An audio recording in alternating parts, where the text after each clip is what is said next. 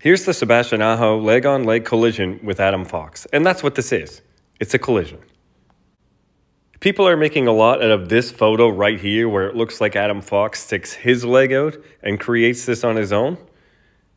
And I mean, he does kind of create it on his own, but not in the way you think. Fox's teammate has the puck on the boards, and Fox is just trying to come in and make himself available. He pivots, he opens up, then he realizes the pass is going back down the boards, so he wants to get himself into the hole behind Aho, but he can't decide whether he wants to go across the front right now or switch up and go to the back.